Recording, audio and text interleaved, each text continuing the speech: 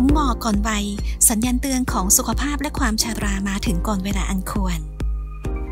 การที่คนเรามีเส้นผมที่ดกดำเงางาม ปราศจากผมงอกก่อนวัยจำเป็นจะต้องมีพื้นฐานของไตและตับที่แข็งแรง ดังสุภาษิตของวงการแพทย์จีนได้กล่าวไว้ว่า เส้นผมเป็นส่วนปลายของเลือด และเป็นราศีของไตค่ะ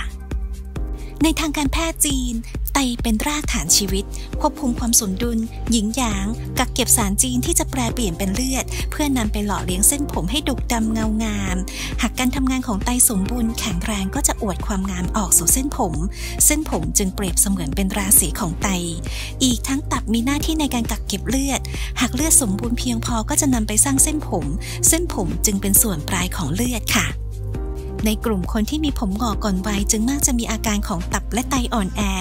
คนไข้กลุ่มนี้มักจะมีอาการปัสสาวะบ่อย โดยเฉพาะตอนกลางคืน ปวดหลังปวดเอวหูมีเสียง นอนหลับไม่ดี และมีสภาพอารมณ์ที่เครียด คิดมาก ใจร้อน หงุดหงิดง่าย หรือในสตรีหลาย ๆ คนประจำเดือนจะผิดปกติไปด้วยค่ะ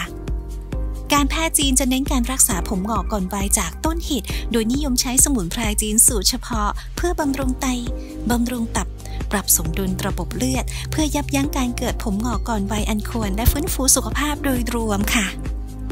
เส้นผมดกดำเงางามปราศจากผมงอกก่อนวัยตับไตแข็งแรงสมดุล ตัวคุณเองก็สามารถเริ่มต้นได้ง่าย ๆค่ะปรึกษาแพทย์จีนที่สายด่วนสุขภาพเอิร์นเวย์02 751 4399